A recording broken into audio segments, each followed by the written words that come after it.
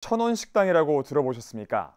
단돈 천 원에 집밥 같은 점심을 제공하는 식당인데요.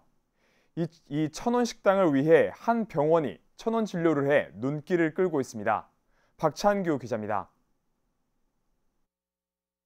따뜻한 쌀밥에 맛 좋은 된장국 그리고 매일 다르게 나오는 가지런한 찬들 광주에서 단돈 천 원에 맛볼 수 있는 점심입니다.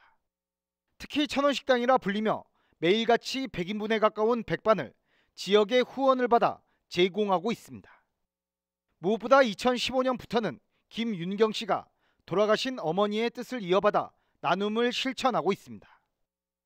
그래서 이제 어르신들이나 이제 학생들이 좀 젊은 저기도 천 원이면 언제든지 마음 편하게 내 집처럼 드나들 수 있는 그런 곳이 됐으면 좋겠다고 생각하고 그래서 꾸준히 그런 식으로 하고 있습니다.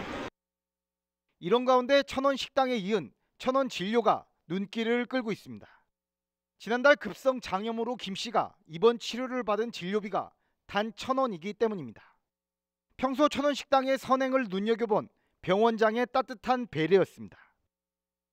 그다음에 그 전에 어머니가 하고 계신다는 걸 알았는데 최근 올 봄엔가 다시 그 따님이 이어서 한다는 소식을 듣고 사실은 천원 진료를 이렇게 뭐 약속했던 것은 아니었는데 이제 아프시면 저희 병원 오세요. 제가 도움드리고 싶어서 그랬던 거고 아 그럼 저도 천 원에 밥 그 맛있는 밥을 먹었는데 저도 천 원만 받겠습니다. 그렇게 된 겁니다. 착한 음식에 착한 진료까지 지역에서의 착한 마음들이 모여 훈훈함을 더하고 있습니다. CNB 뉴스 박찬규입니다.